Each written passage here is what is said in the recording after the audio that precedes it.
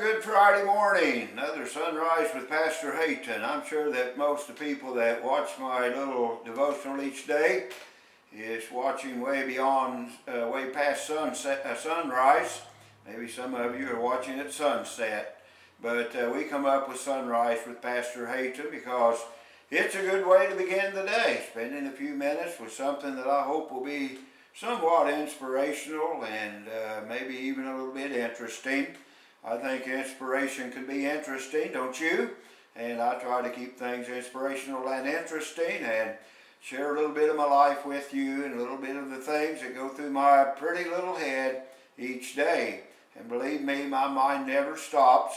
Sometimes I go to bed at night and I just wish there was an off and on switch where I could just switch my mind off.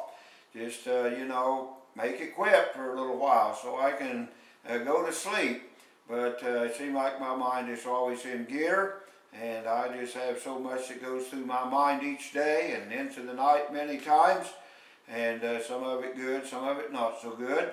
So I try to dwell on that which is good. The Bible says, whatsoever things are good, whatsoever things are true, whatsoever things are pure, whatsoever things are of good report, if there be any virtue and so on and so forth, think on these things. So sometimes we kind of have to weed things out of our mind, don't we? And I know that uh, there are times that we have a difficult time weeding things out of our mind. I think one of the most important times is our prayer time.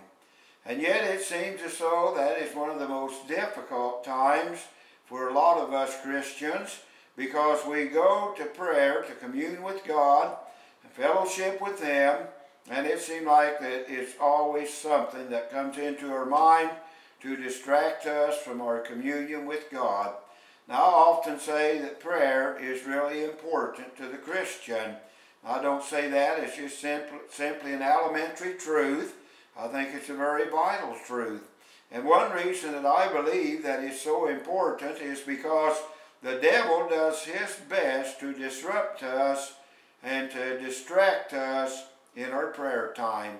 And so, you know, there are times that I know that I need to pray. People have asked me to pray about certain things. And, of course, we all carry burdens upon our heart. You may see the computer screen. I've got four wonderful children, their families that weigh heavy upon my heart all the time. And I, I know the importance of praying for them and asking God's watch care over them and His guidance throughout their lives. And, and so I know I need to pray for my family. And I need to remember those requests that people ask me to, to pray with them about. I know there's sometimes that people will say, now Brother Hayton, I've got a special burden and a special need and I want you to pray with me about this this week. And then you see them again and they say, I want to thank you for praying. And all of a sudden you realize that you didn't pray for them. It just slipped your mind entirely. Now that does happen. I have to make an honest confession that even though people ask me to pray on a certain day or for a certain situation, sometimes I am distracted and I fail to do so. Well, what do you do when somebody thanks you for a prayer that you haven't prayed? Well, the Bible says there's a time to speak and a time to keep silent. And I just figure that's one of those times that it's time to keep silent and uh, vow within your heart that you're going to do better the next time. But nonetheless, prayer or communion with God or quiet time or communication with Him, there's very little that is more important. And there's really nothing that should take precedence over our prayer time. And like I'm saying, it's so easy sometimes for our mind to just kind of uh, get off of the, the secular. It's easy for our mind uh, to dwell on the things that are round about us instead of focusing our mind upon God. And I know that Jesus was instructing his disciples on how to pray. And he said, when thou prayest, enter into the closet and close the door. Well, I remember as a child hearing somebody preach on that or having it in Sunday school or something, and, and I really tried to go into the closet. Now, out when I was a kid living in the parsonage out in Natoma, little old dinky parsonage, and the closets were tiny, and uh, they would seem to be so full and I just had a hard time squeezing into my closet and pulling the curtain. We didn't have a door, but we had a curtain across it.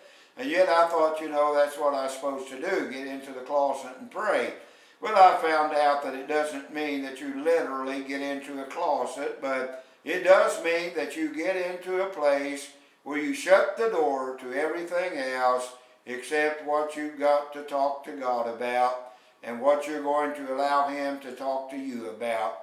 So you know we do need to enter the closet and shut the door. We need to turn off our wandering mind. We need to do anything that will eliminate distraction and get in a quiet place before God and focus on Him.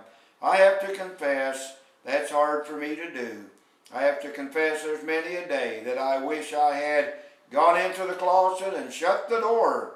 Uh, my day would have gone a lot better had I done so. So, you know, you need to sometimes just kind of find a, a way to shut your mind off and to get it focused on prayer. Get it focused on communion with God. Our lives will be so much better for it. Heavenly Father, help us to find those quiet times.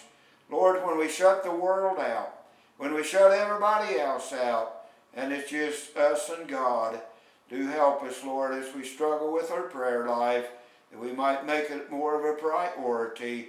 We ask in Christ's name. Amen. Well, find that quiet time today now and shut the world out and focus on God. See you tomorrow. Goodbye.